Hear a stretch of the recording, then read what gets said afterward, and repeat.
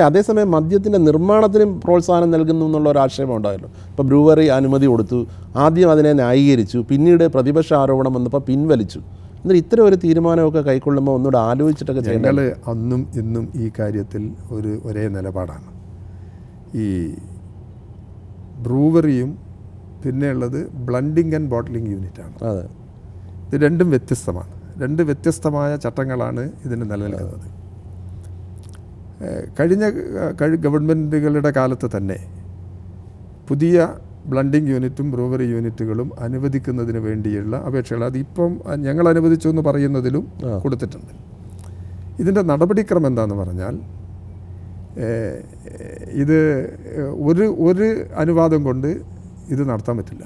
ആയിരത്തി തൊള്ളായിരത്തി തൊണ്ണൂറ്റി എട്ടിൽ കൊടുത്ത അനുമതി പ്രയർ അപ്രൂവൽ അതിന്റെ മേലെ ലൈസൻസ് നൽകിയത് രണ്ടായിരത്തി മൂന്നിലാണ് അതിൽ ഇപ്പോൾ കൊടുത്തത്? രണ്ടായിരത്തി മൂന്നിലാണ് അതാണ് ഇതിന്റെ ഇത് സ്ഥിതി. ഇപ്പോൾ ഇതിന്റെ ഒരു ഞങ്ങൾ ആലോചിച്ചത്.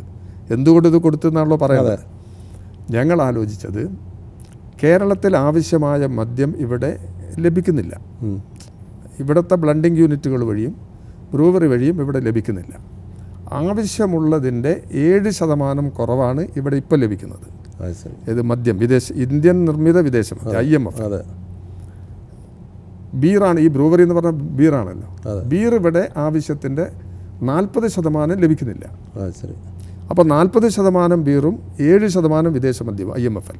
വിദേശ മദ്യവും പുറത്തുനിന്ന് കൊണ്ടുവരണം. ഇതിന്റെ ഇവിടെ കൊണ്ടുവരുന്നതിന്റെ ഏറ്റവും പ്രധാനപ്പെട്ട ഒരു വിഭാഗം കർണാടക മദ്യ വ്യവസായികളാണ്. അത് വലിയ ലോബിങ് നടക്കുന്ന ഒരു സംഗതിയാണ്. അപ്പോൾ ഇവിടെ ആവശ്യമുള്ള മദ്യം ഇവിടെ തന്നെ ഉൽപ്പാദിപ്പിച്ചു കഴിഞ്ഞാൽ സ്റ്റേറ്റിന്റെ വരുമാനം വർദ്ധിപ്പിക്കാൻ കഴിയും. പേർക്ക് തൊഴിൽ തൊഴിൽ തൊഴിലവസരവും വർദ്ധിപ്പിക്കും പക്ഷെ അങ്ങനെയാണ് എന്തുകൊണ്ട് ആ തീരുമാനത്തിൽ ഉറച്ചു നിന്നില്ല ഞാൻ പറയാം. ഇതാണ് നിലപാട്. ഈ വസ്തു ഈ ഒരു ഇതാണ് ഗവൺമെന്റിന്റെ ഭാഗമായിട്ട് ഞങ്ങൾ ആലോചിച്ചിട്ടുള്ളത്. യു ഡി എഫിന്റെ നേതൃത്വം അഴിമതി ആരോപണം ഉന്നയിക്കുന്നത് അവരുടെ ചില പഴയ ശീലം വെച്ചിട്ടാണ്. ആ ശീലം ആ ശീലം എൽ ഡി എഫ് ഗവൺമെന്റിനില്ല പക്ഷേ അതിന് കേരളത്തിലെ മന്ത്രിമാരെയും മന്ത്രിമാരെ എതിരായും അഴിമതി ഉന്നയിക്കാൻ പറ്റില്ല. ഉന്നയിക്കാൻ ഇല്ലാത്തത് ഉപയോഗിക്കാൻ ഉന്നയിക്കാൻ പറ്റും. വസ്തുതാപരമായ ഒരാരോപണവും ഒരാൾ ഒരു മന്ത്രിമാരുടെയും പേരിൽ ഉന്നയിക്കാൻ പ്രത്യേകിച്ച് പിണറായി വിജയന്റെ നേതൃത്വത്തിലുള്ള കേരള ഗവൺമെന്റ് വളരെ ശക്തമായി ജനപക്ഷത്ത് നിന്ന് അഴിമതിക്കെതിരായ പൊതു സമീപനം സ്വീകരിച്ചു വരുന്നുണ്ട്. അതിൽ നിന്ന് മന്ത്രിമാരെല്ലാം അതിൽ ഉറച്ചു നിൽക്കുക അല്ല ഇപ്പൊ ഈ കാര്യത്തിൽ താങ്കളെ കാര്യത്തിൽ ഞാൻ എടുത്ത നിലപാട്. താങ്കളെ പോലെ കറ പുരളാത്ത രാഷ്ട്രീയ പ്രതിച്ഛയുള്ള ഒരാൾ അഴിമതി കാണിച്ചെന്ന് കേരളത്തിലെ ജനങ്ങൾ വിശ്വസിക്കില്ല. പക്ഷേ ഗവൺമെന്റ് എടുത്ത തീരുമാനം ഗവൺമെന്റ് പിൻവലിച്ചു. ഗവൺമെന്റ് എടുത്ത തീരുമാനം പിൻവലിക്കാൻ ഒരു കാരണമുണ്ട്. ഇത് വിവാദമായിട്ട് ഉയർത്തിക്കൊണ്ടുവന്നു. ഇവിടെ ബ്ലണ്ടിങ് യൂണിറ്റും ബ്രൂവറിയും ബ്ല- ബ്ലണ്ടിങ് ആൻഡ് ബോട്ട്ലിംഗ് യൂണിറ്റ്. ബ്രൂവറിയും അനുവദിച്ചത് വലിയ അഴിമതി നടന്നിട്ടുണ്ട് എന്നുള്ള നിലയിൽ ആരോപണങ്ങൾ ഉന്നയിക്കാൻ തുടങ്ങി. വസ്തുതാവിരുദ്ധമായ ആരോപണമുള്ളത് കൊണ്ട് ഞങ്ങൾ ഭയപ്പെട്ടു എന്നുള്ളതല്ല. കേരളത്തിൽ ഇന്നത്തെ ഒരു പ്ര- പ്രത്യേക അന്തരീക്ഷമുണ്ട്. കേരളത്തിന്റെ അന്തരീക്ഷം എന്ന് പറയുന്നത് വിവാദങ്ങൾ ഒഴിവാക്കി എല്ലാവരും യോജിച്ച് നിൽക്കേണ്ട ഒരു സന്ദർഭമാണ്. പക്ഷേ ആ ഒരു സമീപനത്തോടും നിലവിലുള്ള പ്രതിപക്ഷം സഹകരിക്കുന്നില്ല എന്നുള്ളൊരു വശം വേറെയുണ്ട്. അതിപ്പോൾ കുറച്ചുകൂടി ശക്തമായി പ്രകടമായി വന്നിരിക്കുകയാണ്. ഞങ്ങൾ ഈ കാര്യത്തെ സ്വീകരിച്ച നിലപാട് ഇതിന് പ്രയർ പെർമിഷനേ കൊടുത്തിട്ടുള്ളൂ. ഇതിന് ലൈസൻസ് കൊടുക്കുമ്പോഴാണ് നടത്താൻ കഴിയുക. അതിന് വേണ്ടി സമയമെടുക്കും അതാ അതിന് സമയമെടുക്കും അതിന് ചിലപ്പോൾ മാസങ്ങളും വർഷങ്ങളും ഒക്കെ ചില സമയത്ത് എടുത്തു നിന്ന് വരും. ആ ലൈസൻസിന്റെ സന്ദർഭത്തിലാണ് ഇതിന്റെ എല്ലാ വശങ്ങളും പരിശോധിക്കേണ്ടത്.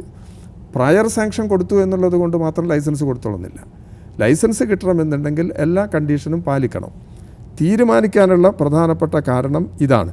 അന്ന് ഞങ്ങളുടെ മുമ്പിൽ വന്ന അപേക്ഷകളെല്ലാം അപ്പോൾ തന്നെ അനു അനുവാദം കൊടുത്തിട്ടുണ്ട്. അപേക്ഷയുടെ മേലെ അനുവാദം കൊടുത്തിട്ടുണ്ട്.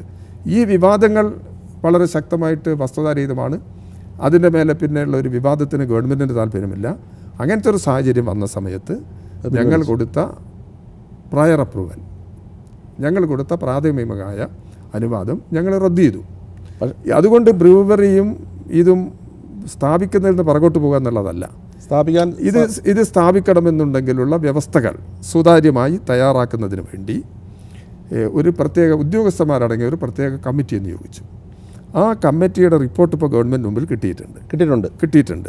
ആ. റിപ്പോർട്ടിൽ ഉള്ളടക്കം ഞങ്ങൾ പരിശോധിക്കുകയാണ്. പരിശോധിച്ചാൽ ഏതെല്ലാം സ്വീകരിക്കണം ഏതെല്ലാം സ്വീകരിക്കാതിരിക്കാൻ കഴിയുമെന്നെല്ലാം വെറുതെ പുതിയ കൂട്ടി കൂട്ടിച്ചേർക്കൽ വേണോ? ഇതിന്റെ എല്ലാം വിശദാംശങ്ങൾ പരിശോധിക്കാം. അപ്പോൾ ആ അത് പരിശോധിച്ചതിന് ശേഷമാണ് അതിന്റെ മേലെയുള്ള മറ്റ് തുടർ നടപടികൾ അപ്പോൾ സുതാര്യമായ വ്യവസ്ഥ വ്യവസ്ഥകളോടുകൂടി ഇത് വീണ്ടും അനുമതി നൽകുന്ന ഒരു തീരുമാനത്തിലേക്ക് ഗവൺമെന്റ് പോകും. അല്ല അത് തുടർന്നത് ഗവൺമെന്റ് ആ നിലപാടിൽ നിന്ന് മാറിയിട്ടില്ല. അതിന്റെ അർത്ഥം നാളെ ഇത് തുടങ്ങുന്നു എന്നല്ല. വേണമെങ്കിൽ തുടങ്ങാം. കേരളത്തിൽ ഇത് ആവശ്യമാണ്. ആവശ്യമാണ്. അപ്പോൾ ഉൽപ്പാദനം ഇപ്പം ബഹുമാനപ്പെട്ട പ്രതിപക്ഷ നേതാവിന് എനിക്ക് കത്തെഴുതി തന്നിട്ടുണ്ട്. അവിടെ തമിഴ്നാട്ടിലൊരു കോർപ്പറേഷൻ വർക്ക് ചെയ്യുന്നുണ്ട്. ആ കോർപ്പറേഷന്റെ നേതൃത്വത്തിൽ അത് അവർ ചെയ്യുന്നത് പോലെ ഇവിടെ ആവശ്യമുള്ള മദ്യം ഇവിടെ ഉൽപ്പാദിപ്പിക്കണം. ഓ. എന്നാണ് പ്രതിപക്ഷ നേതാവിന് ആവശ്യപ്പെട്ടത്. കേരളത്തിൽ നിന്ന് തന്നെ ഉൽപ്പാദിപ്പിക്കണം. വെളിയിൽ നിന്ന് കൊണ്ടുവരരുത് എന്നാണ് അദ്ദേഹം പറഞ്ഞിരിക്കുന്നത്. അതിപ്പോൾ ഏറ്റവും അവസാനം പറഞ്ഞത്.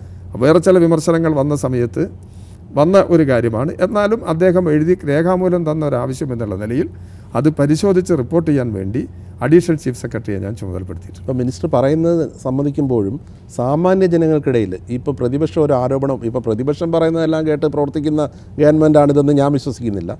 പ്രതിപക്ഷം ഒരു ആരോപണം ഉന്നയിക്കുമ്പോൾ ഗവൺമെന്റ് ഒരിക്കൽ എടുത്ത തീരുമാനത്തിൽ നിന്ന് പിന്നോട്ട് പോകുമ്പോൾ അത് സ്വാഭാവികമായിട്ടും അതിലെന്തോ തിരിമറി ഉണ്ടായില്ല എന്ന് സാമാന്യ ജനങ്ങൾ സംശയിക്കില്ലേ? നിങ്ങൾ സാധാരണ ഒന്ന് ആലോചിച്ച് നോക്ക്. താങ്കളാണ് ഈ സ്ഥാനത്തിരിക്കുന്നത് കരുതുക. എന്തെങ്കിലും ഒരു രീ തെറ്റായ നിലപാട് ഇക്കാര്യത്തിൽ എടുത്തു പോയിട്ടുണ്ടെങ്കിൽ നിങ്ങൾക്ക് മാറാൻ പറ്റില്ല. കമ്മിറ്റ്മെന്റ് ആണല്ലോ. ആർക്കെങ്കിലും കമ്മിറ്റ്മെന്റ് കൊടുത്തിട്ടുണ്ട് ആർക്കും മാറാൻ പറ്റില്ല. ഞങ്ങൾക്കൊരാൾക്കും കമ്മിറ്റ്മെന്റ് കൊടുത്ത പ്രശ്നമില്ല. ഞങ്ങൾ എനിക്ക് തന്നെ ഈ അപേക്ഷിച്ച ആൾ ആരാ- ആരാന്ന് പോലും എനിക്കറിയില്ല. എനിക്കറിയില്ല. ഞാൻ ഫയൽ മാത്രമേ നോക്കുന്നുള്ളൂ. ഫയൽ നോക്കി ഇതൊക്കെ പരിശോധിക്കാൻ ഉദ്യോഗസ്ഥന്മാരുണ്ട്. ആ ഉദ്യോഗസ്ഥന്മാരുടെ റിപ്പോർട്ട് എന്താണെന്ന് നോക്കുക. എന്നിട്ട് അത് പരിശോധിച്ചിട്ട് അത് നിയമാനുസൃതം ശരിയാണോ എന്നുള്ളതാണ് ഞാൻ പരിശോധിക്കുന്നത്. ശരിയാണെങ്കിൽ ഉദ്യോഗസ്ഥന്മാർ തന്ന റിപ്പോർട്ടിന്റെ അടിസ്ഥാനത്തിൽ നടപടിക്രമങ്ങൾ ശരിയാണെങ്കിൽ അനുവദിക്കുക എന്നുള്ളതാണ്. അനുവദിച്ച നടപടി തെറ്റാണെന്നുള്ളത് ഗവൺമെന്റ് ഇപ്പോഴും അംഗീകരിക്കുന്നില്ല. അനുവദിച്ച നടപടി ശരിയാണ്. ചട്ടങ്ങൾക്ക് വിധേയമായിട്ടാണ് അനുമതി നൽകിയിട്ടുള്ളത്. ഇത് നിർത്തലാക്കാൻ ഇടവന്ന സാഹചര്യം അതിന്റെ മേലെ ഒരു വിവാദം സൃഷ്ടിക്കേണ്ടതില്ല എന്നുള്ളതുകൊണ്ടാണ്. കേരളത്തിൽ യോജിച്ച് പുനർനിർമ്മാണ പ്രക്രിയയിൽ ഒന്നിച്ചു നിൽക്കുന്നതുകൊണ്ട് ഒരു പുതിയ വിവാദം ഈ കാര്യത്തിൽ ഉണ്ടാക്കേണ്ടതില്ല. അതുകൊണ്ടാണ് ഞങ്ങൾ ഉള്ളത്. അത് പഠിച്ചിട്ട് വീണ്ടും അതിന്റെ കാര്യങ്ങൾ എന്തൊക്കെയാണ് എന്തെങ്കിലും പ്രശ്നങ്ങളുണ്ടോ അതെല്ലാം പരിശോധിച്ച് കാര്യങ്ങളെല്ലാം നിയമപരമായി ഞങ്ങൾ സ്വീകരിച്ച നടപടിയിൽ ഒരു തെറ്റുമില്ല. ചട്ട ചട്ടത്തിന് വിധേയമായിട്ടാണ് ഇതിന്റെ അകത്ത് ഒരു രാഷ്ട്രീയമുണ്ടോയെന്നാണ് എന്റെ അടുത്ത ചോദ്യം. അതായത് കർണാടകത്തിൽ നിന്നാണ് പല കൂടുതൽ മദ്യം അല്ല കേരളത്തിലെ ആവശ്യങ്ങൾക്ക് വരുന്നത്. ഒരു കർണാടക കേന്ദ്രീകരിച്ച ഒരു മദ്യ ലോബി ഉണ്ടെന്നും അതിൽ ചില കോൺഗ്രസ് നേതാക്കൾക്കൊക്കെ ബന്ധമുണ്ടെന്നൊക്കെ ആക്ഷേപങ്ങളുണ്ട്. ശരിയാണോ എന്ന് അറിയത്തില്ല അതിലെന്തെങ്കിലും പങ്ക് ഇതിലുണ്ടെന്ന് സംശയിക്കുന്നു ഈ ആക്ഷേപങ്ങളെല്ലാം കാര്യമായിട്ടും സംശയിക്കേണ്ടതാണ്. പ്രത്യേകിച്ചും ഇതുപോലുള്ള വിവാദങ്ങൾ ഉയർത്തുമ്പോൾ യഥാർത്ഥത്തിൽ മദ്യ ലോബികൾക്ക് വേണ്ടി തന്നെയാണ് ഇതുപോലുള്ള വാദഗതികൾ ഉന്നയിക്കുന്നത്. ഒരു സാധാരണ നില ഒരു പ്രശ്നങ്ങൾ ഉന്നയിച്ചു കഴിഞ്ഞാൽ അത് ക്ലാരിഫൈ ചെയ്ത് കഴിഞ്ഞാൽ അത് മനസ്സിലാക്കണം. അപ്പോൾ ഒരു തരത്തിലും ആരെയും ഇവിടെ അനുവദിക്കില്ല. പുതുതായിട്ട് ആരെയും അനുവദിക്കില്ല. എന്ന നിലപാട് ഇതിന്റെ പിറകിലുണ്ട്. അതിലൊന്നും വഴങ്ങുന്ന നിലപാട് ഗവൺമെന്റ് സ്വീകരിക്കുന്നില്ല. ഗവൺമെന്റിന്റെ കൈ ശുദ്ധമാണ്. ഒരു തെറ്റും ഗവൺമെന്റ് ചെയ്യില്ല. ജനങ്ങളുടെ താല്പര്യത്തിന് വിരുദ്ധമായ ഒരു നിലപാടും ഗവൺമെന്റ് ഒരു പ്രശ്നത്തിനും സ്വീകരിക്കില്ല. ഞങ്ങളെ കൈ ശുദ്ധമാണ് എന്നുള്ളത് കൊണ്ട് ഞങ്ങൾക്കിതിൽ ഒരു ആശങ്കയും ഉത്കണ്ഠ വരുന്ന കാര്യങ്ങൾ ഞാൻ ക്ലാരിഫൈ ചെയ്ത് പോകുന്നതെന്ന് മാത്രമേ ഉള്ളൂ അനാവശ്യമായിട്ട് അതിന്റെ പിറകെ കൂടി വേറെ ഇതിന്റെ മേലെ ഞങ്ങൾ ആരുപേരിലും ആരോപണം ഉന്നയിക്കാൻ തയ്യാറാകുന്നില്ല. ആരോപണം ഉന്നയിച്ചിട്ടില്ല. എന്നാൽ മദ്യലോബികളുടെ സമ്മർദ്ദവും അവരുടെ താല്പര്യവും ഈ ആരോപണം ഉന്നയിക്കുന്നതിന്റെ പിറകിൽ ഉണ്ട് എന്ന് തന്നെയാണ് എന്ന് സംശയിക്കുന്നുണ്ട്. ഈ കഴിഞ്ഞ എൽ ഡി എഫ് തെരഞ്ഞ കഴിഞ്ഞ തെരഞ്ഞെടുപ്പിൽ എൽ ഡി എഫ് ഉയർത്തിപ്പിടിച്ച ഏറ്റവും വലിയ മുദ്രാവാക്യങ്ങളിലൊന്ന് ബാർ കോഴയുമായി ബന്ധപ്പെട്ട അഴിമതിയായിരുന്നു. പക്ഷേ അധികാരത്തിൽ കയറിയ ശേഷം അതിനെക്കുറിച്ചുള്ള അന്വേഷണത്തിൽ വേണ്ടത്ര ശുഷ്കാന്തി ഉണ്ടായില്ല. മാണിയെ രക്ഷിക്കാൻ ശ്രമിച്ചു എന്നൊക്കെ ആക്ഷേപമുണ്ട്. ഇതിൽ ഗവൺമെന്റിൽ വരുന്നതിന് മുമ്പും ഗവൺമെന്റ് വന്നതിന് ശേഷവും അഴിമതിക്കെതിരായി ഒരു വിട്ടുവീഴ്ചയില്ലാത്ത നിലപാടാണ് ഞങ്ങൾ സ്വീകരിച്ചു വരുന്നത്. പ്രത്യേകിച്ച് കേരളത്തിലെ ഇടതുപക്ഷ ജനാധിപത്യ മുന്നണി. ഗവൺമെന്റ് പങ്കാളിത്തം വന്നു ഗവൺമെന്റും അത്തരമൊരു നിലപാടാണ് ഇപ്പോഴത്തെ പിണറായി വിജയൻ ഗവൺമെന്റ് സ്വീകരിക്കുന്നത്. മാണിയെ ഏതെങ്കിലും തരത്തിൽ അദ്ദേഹം തെറ്റ് ചെയ്തിട്ടുണ്ടെങ്കിൽ അദ്ദേഹത്തെ രക്ഷിക്കുക എന്നുള്ള നിലപാട് ഞങ്ങൾക്കില്ല. ബാർ കോഴയുമായി ബന്ധപ്പെട്ട് ആരെയും രക്ഷിക്കുന്ന ഇത് നിലപാട് ഞങ്ങൾക്കില്ല. ഈ കേ പ്രശ്നങ്ങളെല്ലാം ഇപ്പോൾ കോടതിയുടെ മുമ്പിൽ കിടക്കുകയാണ്. അതുകൊണ്ട് കോടതിയുടെ മുമ്പിൽ കിടക്കുന്ന ഒരു വിഷയമായതുകൊണ്ട് അതിനനുസൃതമായ സമീപനമാണ് ഞങ്ങൾ ഈ കാര്യത്തിൽ സ്വീകരിച്ചത്. ആരെയും രക്ഷിക്കാൻ ശ്രമിക്കുന്നില്ല. ഒരിക്കലും ചെയ്യില്ല. മറ്റൊരു കൗതുകകരമായ കാര്യം ചോദിച്ചിട്ട് ഇപ്പോൾ യു ഡി എഫ് ഒരുപാട് ബാറുകൾ പൂട്ടി. എൽ ഡി എഫ് വന്നപ്പോൾ പലതും തുറന്നു. പക്ഷേ വലിയ പ്രതീക്ഷിച്ചത്ര എതിർപ്പുകൾ ഉണ്ടായില്ല എന്തായിരിക്കും അതിന്റെ കാരണം? അത് ജനങ്ങളുടെ വൈനിന്റെ കാര്യത്തിലുള്ള ചില കടുംപിടുത്ത അല്ല അതിന്റെ കർശനമായ നടപടികൾ ഉണ്ടാവുമെന്ന് കരുതിയോണ്ടാണോ സഫ മാറിയെന്ന് അല്ല ജനങ്ങൾ ജനങ്ങൾ ഒരു പൊതു പ്രതികരണത്തിന്റെ പ്രശ്നം ഈ കാര്യത്തിലുണ്ട്. അല്ല സഭകൾ ഭയങ്കരമായിട്ട് എതിർക്കുന്നുണ്ടായിരുന്നു. സഭ.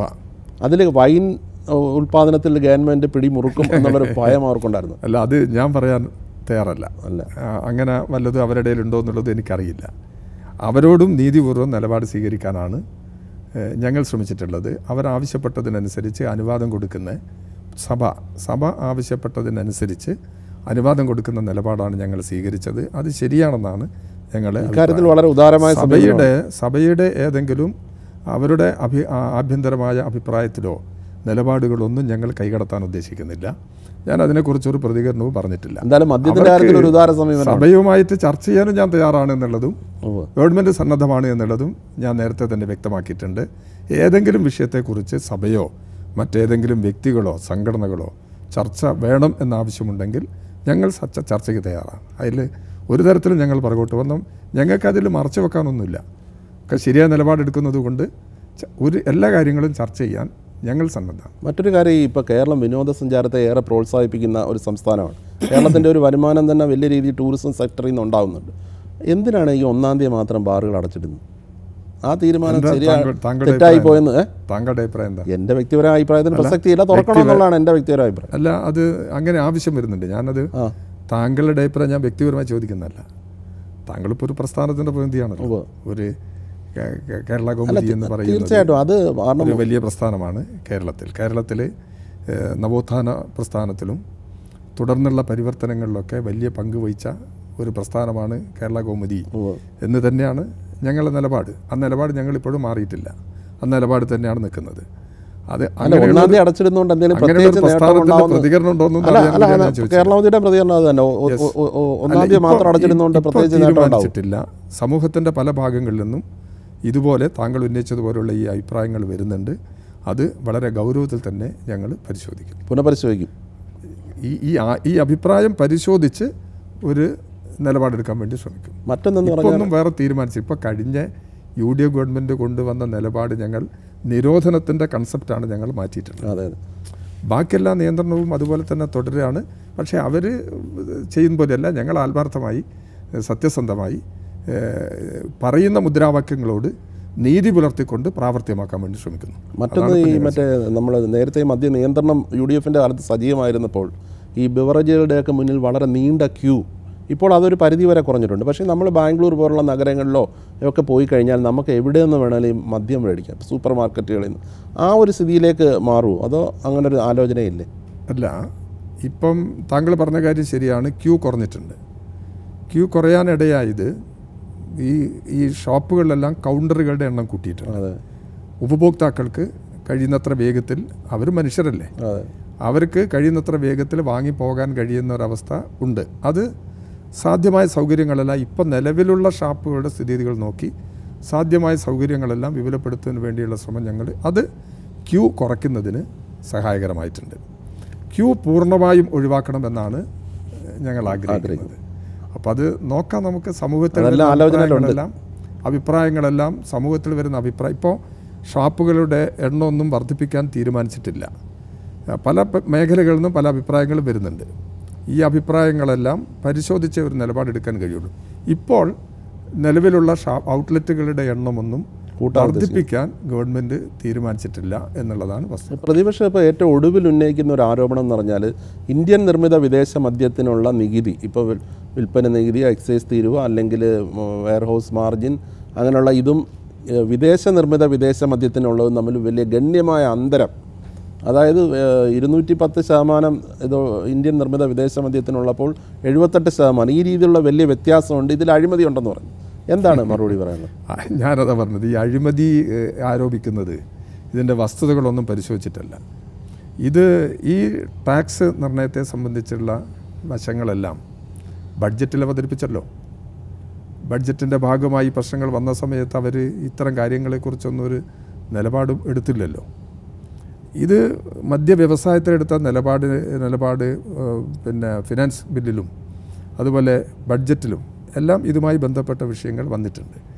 നേരത്തെ ഉണ്ടായിരുന്ന ഒരു സ്ഥിതി രണ്ടായിരത്തി ഏഴ് മുതൽ കേരളത്തിൽ ഈ ഫോറിൻ മെയ്ഡ് ഫോറിൻ ലിക്കർ വിദേശ നിർമ്മിത. വാങ്ങുന്നതിന് വേണ്ടിയുള്ള അനുവാദമുണ്ട് ബാർ ഹോട്ടലുകൾക്ക് അതുപോലുള്ള ആളുകൾക്ക്. അത് കേരളത്തിൽ നിന്ന് ഒരിക്കലും ഒഴിവായിട്ടില്ല അതെല്ലാം കേരളത്തിൽ തുടരുകയായിരുന്നു. എന്നാൽ വിദേശ മദ്യ വിപണനത്തിൽ ബീവറേജ് കോർപ്പറേഷൻ ഉണ്ടായിരുന്നില്ല. ഇത് ഈ വിദേശ മദ്യം പലരും വിദേശ മദ്യം ഉപയോഗിക്കുന്നുണ്ട്. വിദേശ മദ്യത്തിന് താല്പര്യമുള്ള ഉപഭോക്താക്കൾ അത് ഉപയോഗിക്കുന്നുണ്ട്. അത്തരം ആളുകളെല്ലാം ആശ്രയിക്കുന്നത് അനധികൃത വഴികളിലൂടെയാണ്. മറ്റ് വഴികളിലൂടെയാണ് നിയമവിധേയമല്ലാത്ത വഴികളിലൂടെ കൊണ്ടുവരാൻ ഉപയോഗിക്കാനാണ് ശ്രമിക്കുന്നത്. വേണമെങ്കിൽ കള്ളക്കടത്തോ അല്ലെങ്കിൽ അതുപോലുള്ള കാര്യങ്ങളൊക്കെ പറയാം. ഈ പുറത്തുള്ള ബ്ലാക്ക് ബിസിനസ്സാണ് യഥാർത്ഥത്തിൽ ഇവിടെ ഈ മേഖലയിൽ നടക്കുന്നത്. ഇത് ഒഴിവാക്കണം. ഇത് കേരളത്തിന് വൻതോതിൽ റവന്യൂ നഷ്ടമുണ്ടാക്കുന്നുണ്ട്. ഈ സാഹചര്യങ്ങൾ പരിഗണിച്ചാണ് വിദേ ഫോറിൻ മെയ്ഡ് ഫോറിൻ ലിക്കർ ബീവറേജിന്റെ ഔട്ട്ലെറ്റ് കൂടെ വിൽക്കാം. ബാറിലും ബാർ ഹോട്ടലുകളിലും വിൽക്കാം. ഇങ്ങനെയൊരു നിലപാട് നമ്മൾ എടുത്തിരിക്കുന്നത് അപ്പം അപ്പം ബീവറേജ് കോർപ്പറേഷൻ വഴി ഇവിടെ ഫോറൻ ലിക്കർ കൊണ്ടുവരണം. ഫോറൻ ലിക്കർ കൊണ്ടുവരുന്നതിന് അവർ അപേക്ഷ സമർപ്പിക്കുന്നതിന് ആവശ്യം ആവശ്യപ്പെട്ടു. ടെൻഡർ നടപടികളിലേക്ക് പോയി. പതിനേഴ് കമ്പനികൾ കേരളത്തിൽ ടെൻഡർ നടപടിയിൽ അപേക്ഷ സമർപ്പിച്ചു. ആ പതിനേഴ് കമ്പനികൾക്കും നമ്മൾ ഇതിനുള്ള അനുവാദം കൊടുത്തു. അതാണ് യാഥാർത്ഥ്യം. എട്ട് കോടി രൂപയുടെ വിദേശ മദ്യമാണ് ഇതിനിടയിൽ ഇവിടെ ഈ ബീവറേജിന്റെ ഔട്ട്ലെറ്റ് കൂടെ വിൽപ്പന നടത്തിയിട്ടുള്ളത്. ഇതിനോടകം? ഇതിനോടകം. ഇത് നമ്മൾ ഈ പുതിയ നയം എടുത്തതിന് ശേഷം കുറേ മാസങ്ങൾ കഴിഞ്ഞതിന് ശേഷമാണ് തുടങ്ങിയത്. അതിൽ നാല് കോടി രൂപ ഗവൺമെന്റിന് വരുമാനമായി ലഭിച്ചിട്ടുണ്ട്. വിദേശ മദ്യത്തിന്റെ ടാക്സ് കുറയ്ക്കാൻ ഞങ്ങൾ ചർച്ച ചെയ്തിട്ട് കുറച്ച് തന്നെയാണ്. എന്താ കാര്യം എന്ന് പറഞ്ഞാൽ വിദേശ മദ്യം ഇവിടെ ഔട്ട്ലെറ്റുകൾ വിൽക്കുകയാണ്. വിദേശ മദ്യം കസ്റ്റംസ് നികുതി വിദേശ മദ്യത്തിനുണ്ട് ഇന്ത്യൻ മെയ്ഡ് ഫോറിൻ ലിക്വറിന് ഇരുന്നൂറ്റി പത്ത് ശതമാനം നേരത്തെ പല നികുതികളും ഒന്നാക്കി ഒരു ചാനലിലൂടെ ആക്കി. അപ്പോൾ ഒരു ടാക്സാണ് ഇപ്പോൾ ഉള്ളത്. മറ്റ് പല ഇനത്തിലുമുള്ള സെസ് പിരിവ് അതുപോലുള്ള കാര്യങ്ങളൊക്കെ ബീവറേജ് കോർപ്പറേഷൻ ഉണ്ടായിരുന്നു. അതെല്ലാം ഒഴിവാക്കി ഒരു ടാക്സ് ആക്കി മാറ്റി അതെല്ലാം കൂട്ടിച്ചേർത്തപ്പോഴാണ് ഇരുന്നൂറ്റി പത്ത് ശതമാനം വർദ്ധിപ്പിച്ചിട്ടില്ല. ഇരുന്നൂറ്റി പത്ത് ശതമാനം നികുതി വന്നത്. ഫോറിൻ ലിക്വറിന് ഫോറിൻ മെയ്ഡ് ഫോറിൻ ലിക്വറിന് ഞങ്ങൾ എഴുപത്തിയെട്ട് ശതമാനമാണ് നിശ്ചയിച്ചിരിക്കുന്നത്. വലിയ അന്തരമല്ലേ? അത് ടാക്സിന്റെ കാര്യത്തിലതാണ് പക്ഷേ കസ്റ്റംസ് നികുതിയുണ്ട് മറ്റതിന്? അപ്പോൾ ഇത് ഇത് ഞങ്ങൾ വില ചെയ്യാൻ കാരണം കൂടും എന്നുള്ളത് അത് വില കൂടുമെന്നുള്ളതുകൊണ്ടാണ്. ഇത് സാധാരണ? സാധാരണ സമ്പന്നർ മാത്രം ആയിക്കൊള്ളുന്നില്ല. ഇടത്തരക്കാരൊക്കെ ഇതിനകത്തുണ്ട്. അത് വില വല്ലാതെ കൂടും. അപ്പോൾ മാർക്കറ്റിലെ ഇതിന്റെ പ്രതികരണം എന്താണെന്ന് നോക്കിയിട്ട് വേണം ഇതിന്റെ തുടർ നടപടി സ്വീകരിക്കാൻ. അതാണ് ഈ കാര്യത്തിൽ ഒരു അഴിമതിയുടെയും പ്രശ്നമില്ല. ബീവറേജിന്റെ വിപണന സാധ്യത എത്രത്തോളമുണ്ട് എത്രത്തോളം ഉണ്ട് എന്ന് നോക്കാനും കൂടിയാണ്. പക്ഷേ ഇന്ത്യൻ നിർമ്മിത വിദേശ മദ്യത്തിന്റെ അത് സാധാരണക്കാരൻ മേടിച്ച് കഴിക്കുന്നതാണല്ലോ. അതിൽ നികുതി ഒട്ട് കുറയ്ക്കത്തുമില്ല. അത് കേരളത്തിന്റെ ഒരു സാമ്പത്തിക സ്ഥിതി വെച്ചിട്ടും പിന്നെ പരമാവധി ഇത് കുറഞ്ഞോട്ടെ. കുറയ്ക്കാൻ കഴിയുന്നിടത്തോളം കുറയട്ടെ. സ്വയം ബോധ്യപ്പെട്ട് കുറയട്ടെ. അല്ലാതെ അടിച്ചേൽപ്പിച്ച് നിർബന്ധമായിട്ടൊന്നും ഒരു ഓരോ ഓരോരുത്തർക്കും ഓരോരോ ശീലങ്ങളുണ്ട്. ഒരു ജീവിതശൈലിയുണ്ട് ശീലങ്ങളുണ്ട്. അതൊക്കെ ഇങ്ങനെ ഒരു നിയമത്തിന്റെ ഭാഗമായിട്ടൊന്നും മാറ്റാൻ കഴിയുന്നില്ല ഇപ്പോൾ സിബര cigarette smoking is injurious to health. ആ താക്കീത് വായിച്ചുകൊണ്ടല്ലേ സിഗരറ്റ് വലിക്കുന്നത്? അതെ അതെ. എല്ലാ മദ്യത്തിന്റെയും പ്രചരണത്തിൽ മദ്യപാനം ആരോഗ്യത്തിന് ഹാനികരമാണ്. ഫിലിമിലൊക്കെ വരുന്ന സമയത്തും ഇത് തന്നെ അതിനകത്തും കാണുന്നുണ്ട്. എന്നിട്ടും ആളുകൾ ഇതെല്ലാം കണ്ടിട്ട് ഉപയോഗിക്കാം. അപ്പോൾ ഇത് നമ്മുടെ ബോധവൽക്കരണത്തിലൂടെ ചികിത്സയിലൂടെ ഇത് പാടില്ല എന്ന് തീരുമാനിക്കണം. അതുമ്പോഴാണ് ഇത് ഒഴിവാക്കാൻ കഴിയുക. അതുകൊണ്ട് അപ്പോൾ ഉപയോഗിക്കുന്നവർക്ക് ഒരുവിധം. അവർ മനുഷ്യരായിട്ട് തന്നെ കണക്കാക്കുന്നത്. അവർ മനുഷ്യത്വമല്ലാത്ത ആളുകളായിട്ടൊന്നും കണക്കാക്കാൻ നികുതി കുറയ്ക്കില്ല പക്ഷേ. അല്ല അത് അതിപ്പോൾ തീരുമാനിച്ചിട്ടില്ല. സ്റ്റേറ്റിന്റെ വരുമാനം കൂടിയൊക്കെ ആയിട്ട് ബന്ധപ്പെട്ട് ആലോചിക്കേണ്ട പ്രശ്നമാണ്. ഇതെല്ലാം ഗവൺമെന്റ് കൂട്ടായി തീരുമാനിച്ചെടുക്കുന്ന ഒരു നിലപാടാണ്. ഇപ്പം മറിച്ചൊന്നും തീരുമാനിച്ചിട്ടില്ല.